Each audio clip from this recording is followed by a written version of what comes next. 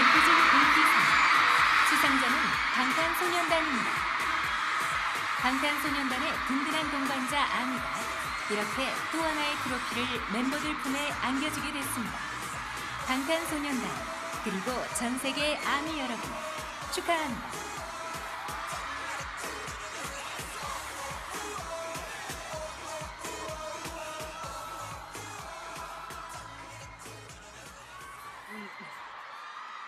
네, 안녕하십니까. 네, 방탄 소년단 창구입니다. 어, 일단 영상 너무 재밌게 잘 봤고요. 어, 영상을 보면서 되게 기분이 많이 좋았던 것 같습니다. 그리고 이렇게 어, 대상 다음으로 이렇게 치열한 상이라고 하니까 어, 되게 기분이 좋고 어, 이것도 다 아미 여러분들이 만들어 주신 거기 때문에 어, 네티즌 인기상은 저희 아미 여러분들이 받는 걸로 하면 될 것 같아요. 어, 정말 감사드리고 앞으로도 어, 더 좋은 모습 많이 보여드리겠습니다. 감사합니다.